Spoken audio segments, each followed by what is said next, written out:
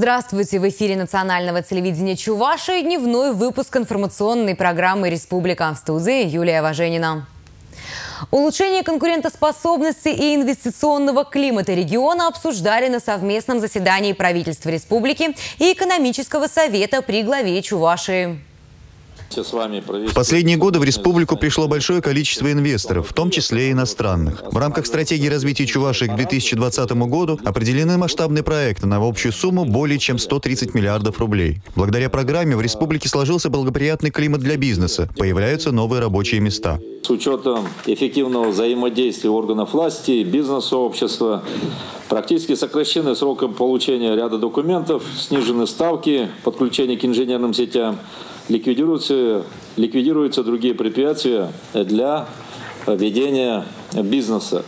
Сегодня в Чувашии внедряется стандарт развития конкуренции, принятый федеральным правительством в конце 2014 года. На данный момент на федеральном уровне предусмотрено 6 приоритетных для развития конкуренции рынка, то есть это обязательные рынки. Это рынок дошкольного образования, медицинских услуг, жилищно-коммунального хозяйства, розничной торговли, перевозок пассажирских, пассажирским транспортом, услуг связи. Ну и с учетом нашей региональной специфики, это прежде всего с учетом обращения предпринимателей, жителей республики э, в УФАС, э, было выбрано, отобрано еще два дополнительных рынка. Это рынок производства и переработки сельскохозяйственной продукции, в том числе молока.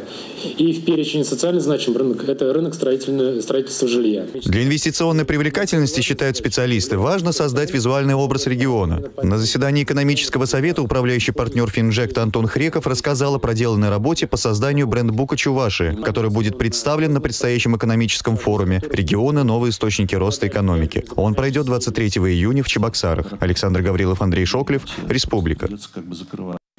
Снова за парты. Выпускники российских школ начали сдавать единый государственный экзамен. Во всех регионах прошли испытания по географии и литературе. На этой неделе состоятся ЕГЭ по обязательным предметам. О безопасности при проведении экзаменов в репортаже моего коллеги Дмитрия Ковалева. Это похоже на операцию спецслужб. В школе опечатаны классы и установлены глушители мобильных сигналов. Учеников у входа досматривают с помощью металлодетекторов. В этом году на экзамен запрещено проносить не только сотовые телефоны, но и электронные часы.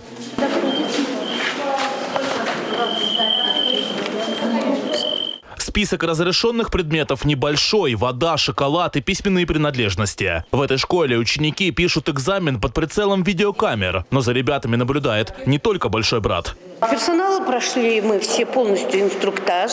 А, этим занималось Министерство образования нашей республики. Все, кто был задействован в ЕГЭ, все они прошли инструктаж, в том числе и я. Главная задача – обеспечить честность сдачи экзаменов. В этом году составы предметных комиссий были обновлены. В республику прибыли два федеральных инспектора Рособорнадзора. Для нас важно еще обеспечить безопасность э, представителей э, организаторов ЕГЭ, потому что когда нарушается э, правило проведения ЕГЭ, мы наказываем не только ученика, лишаем его возможности сдачи экзамена по этому предмету в этом году, но мы наказываем организаторов пунктов проведения ЕГЭ до 30 тысяч штраф. Это очень достаточно достаточно существенно. Литературу и географию в республике сдали более 300 учеников. Следом экзамен по русскому языку. Он назначен на 28 мая. Министерство образования региона отмечают, что выпускники все чаще делают выбор в пользу точных наук. Будущим математикам в этом году придется сдавать и дополнительные ЕГЭ. Математика делится в этом году, в отличие от прошлых лет, на два уровня. Это базовый. Это дает возможность гуманитариям сдать на предмет «сдать, сдал, не сдал». В принципе, а профильный уровень сдают те выпускники, которым нужна математика для продолжения обучения в ВУЗе. Всего же в этом году в республике единый государственный экзамен сдадут более шести с половиной тысяч учеников. Дмитрий Ковалев, Андрей Шоклев и Расиль Мухаметов. Республика. Кроме вопросов проведения единого госэкзамена, на еженедельном совещании у главы Чуваши обсудили итоги лицензирования управляющих компаний. До 1 мая управляющие компании, работающие в Чувашии, должны были пройти лицензирование. Те, кто не прошел эту процедуру, должны управлять до того момента, пока их дома не будут переданы новым законным организациям. В Чувашии 163 управляющие компании, из них 147 подали заявки на лицензирование, и лишь 119 его прошли. В числе основных причин – недобросовестное раскрытие информации. Большинство управляющих компаний, которые не получили лицензии, работают в Чебоксарах, Новочебоксарске, Канаше, Фурнарах и в Батрево. Глава Чуваши обратил внимание на возможность недобросовестного ухода компаний с рынка. Знаете, что управлять не будут, все на самотеке, э, какие-то дома без воды могут остаться. По всем домам, по всем управляющим компаниям объявлен конкурс на определение новой управляющей компании. Как было отмечено, до 1 июля должны будем выбрать, определить управляющую компанию и закрепить все дома. Проблемы, о которых вы говорите, держим на контроле. Теоретически они возможны. И возможен и вывод средств при сборе средств населения и неоплате поставщикам коммунальных ресурсов. Здесь мы проверки проводим и в случае нарушения направляем материал в прокуратуру. Из 17 управляющих компаний 14 получили, э, три компании не получили лицензии. Одна не подала заявление, два э, э, их лишили лицензии. Значит, всего 4 дома, то есть менее сложная ситуация, чем в Чебоксарах или в Канаше. Поэтому до вот 10 числа состоялись собрания собственников по трем квартирным домам, которые выбрали форму управления как ТСЖ. По одному дому управляющая компания МУП УК ЖКХ на сегодняшний момент уже принял на обслуживание этот дом. Глава Чуваши поручил местным властям пристально следить за ситуацией, чтобы ни один дом не остался без управления и организации, не прошедшие лицензирование, не бросали жильцов с их проблемами. Татьяна Молокова, Расиль Мухаметов, Республика. Сегодня на нашем канале состоится премьерный показ телепрограммы «Наша республика. Главная тема» нового совместного проекта ГТРК «Чувашия», национальной телерадиокомпании «Чувашия» и газеты «Советская Чувашия». Наша республика – главная тема. Это информация из первых уст. В очередном выпуске программы речь пойдет о реализации инвестиционных проектов и создании новых рабочих мест. И мы будем оказывать вам всяческое содействие подготовки и переподготовки кадров. Это можно сказать, вот по заводу ходим. Да, практически. Коридор, как продолжение. А также о развитии малого бизнеса, который нацелен на импортозамещение. Наша продукция будет стоить в 4 раза меньше, 500 рублей. В таком же виде сейчас уже? В таком же виде, да. Смотрите передачу «Наша республика. Главная тема» 26 мая на канале «Россия-24» в 19 часов 30 минут, на национальном телевидении Чувашии в 20 часов 30 минут.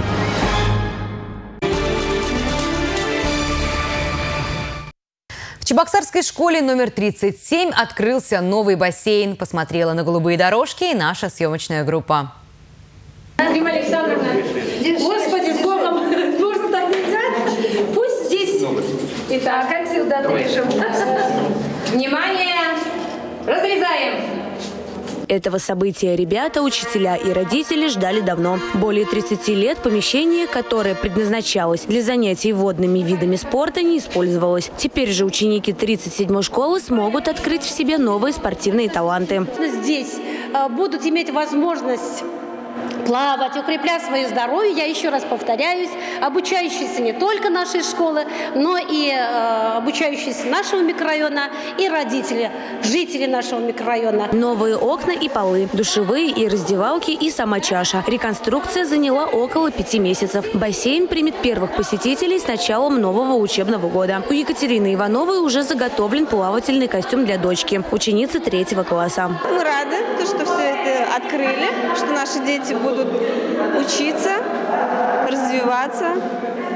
Ну, это самое полезное, я думаю. Бассейн в 37-й школе – один из пунктов программы развития массового спорта. Во многих учебных заведениях Чебоксар появились новые физкультурные залы, спортивные площадки. Активно ведется строительство нового физкультурно-оздоровительного комплекса. Много делается для детского спорта, для того, чтобы дети наши занимались именно спортом, здоровым образом жизни. И это было не только школьным занятием, но и занятием для всей семьи.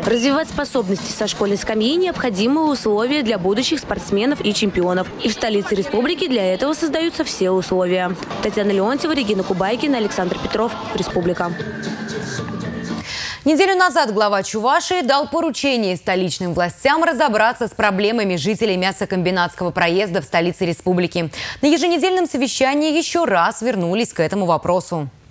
В течение недели на строительной площадке микрорайона Кувшинка работала межведомственная комиссия, которая должна была встретиться с каждым владельцем, чей дом находится в самовольно возведенном поселке Шанхай, и обсудить спорные вопросы. За 7 дней в штаб поступили 166 анкет, в которых жители называют условия переезда. Предварительный итог помимо тех 90 квартир, с которыми уже есть заключен э, э, предварительные э, соглашения, предварительный итог следующий.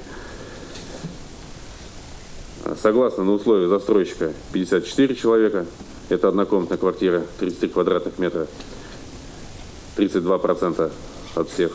Согласно при условии предоставления жилья равнозначной площадью 78 человек, это 47%. Согласно при условии предоставления жилья из расчета 14,5 квадратных метров на одного проезжающего 32 человека, это 19%. Не согласно на расселение, пока 2 человека, это 1,2%. Общая площадь 166 домов 10,5 тысяч квадратных метров. Для расселения необходимо 111 тысяч или порядка 600 миллионов рублей. В целом считаем проект инвестиционно привлекательным. Понятна позиция застройщика. Он хочет минимизировать затраты с целью получения дополнительной прибыли. На этой неделе будем с застройщиком встречаться. Сегодня-завтра э, до конца проведем инвентаризацию, соберем заявки и будем принимать решения, будем встречаться с жителями, доводить до них позицию застройщика. Кроме того, жители мясокомбинатского проезда высказали претензии к чистоте строительной площадки. В ближайшее время застройщик обустроит деревянные отмостки. Глава Чуваши призвал участников рабочей группы разрешить спорные вопросы как можно скорее. Интересы города, интересы коммерческой организации, интересы жителей. Вот три интереса. И каждая сторона хочет заложить свои интересы. Но наша с вами задача разрешать, искать варианты, компромисс.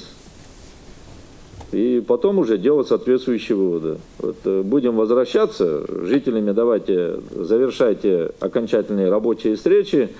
Если на самом деле вы убедитесь в том, то, что я и жителям говорил, что нужно скорректировать принятые решения, то надо скорректировать. Кроме того, Михаил Игнатьев подчеркнул, что к решению проблемы необходимо подключить Рекпалату и Минимущество Чувашии, чтобы проверить заключенные договоры долевого участия и договор на земельный участок. Татьяна Молокова, Расиль Мухаметов, Республика. Глава Чувашии Михаил Игнатьев встретился с депутатами парламента Республики Молдова Игорем Дадоном и Андреем Негуца, которые прибыли в республику с рабочим визитом. Добрый день.